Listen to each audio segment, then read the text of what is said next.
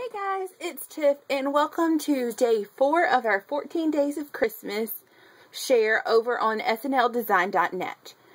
I am going to show you a project today that I'm really excited about and I'm actually planning on giving it as gifts um, this holiday season. So, I saw this idea on another channel and I believe it's craft, it's either Craft Warehouse or Craft Memories. I can't remember the exact name. But Teresa Collins, I do know, was a guest on the channel. And she showed her um, an idea her creative director came up with, which was to put washi tape on candles.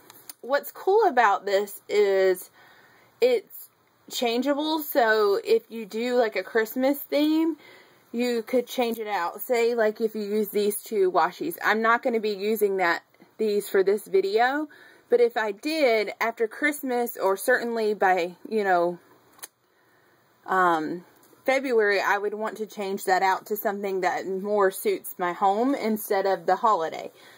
Um, so it's cool in that way. And then it's also nice because we all have washi. Let's be realistic. We have tons and tons and tons of washi just kind of taking up space in our craft room, so it's kind of nice. And I'm going to be honest with you, like, um, this is one of the washies I will be using today.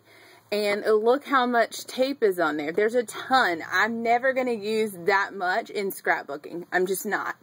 Um, I may would use it, you know, when wrapping presents or, or something like that.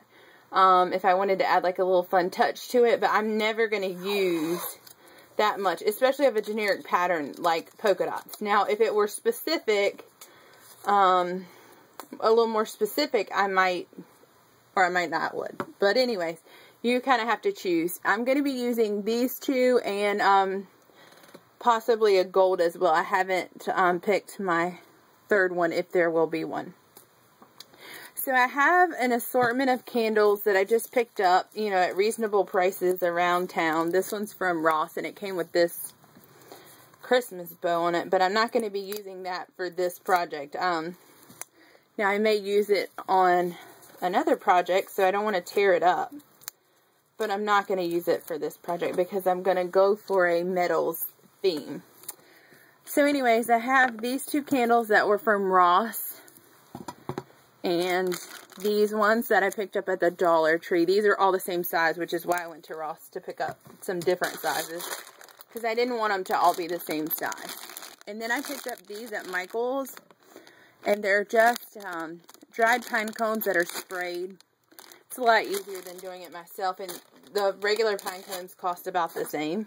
So, to me, it was worth um, the extra little investment also used my 50 off coupon on these at Michael's. Um, and they're just little foam balls that are called Christmas fillers. And I'll not be using the red, but you could. And then they could easily remove the red after Christmas. But I want it to look complete no matter what. Um, this is the only thing that's somewhat questionable. I don't know if I'll use these because to me, Christmas ornaments obviously bring the idea of Christmas. So, you'd be less likely to be able to get away with this look throughout the year if you if I decide to use the ornaments. But I just haven't decided yet if I'm going to include those.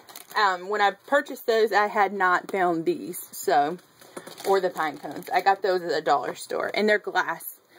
So I thought five for a dollar for glass ornaments is nice, and worst case scenario, I'll put them on my Christmas tree here at home. And then I have a gold plate from the Dollar Tree that is plastic.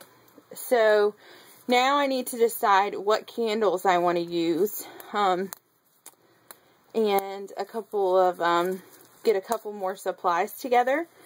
So I think I'm going to leave you guys for a little bit. And then I'll come back in a little while once I've decided what candles I want to use. And we'll start covering them. See you in a bit. Bye.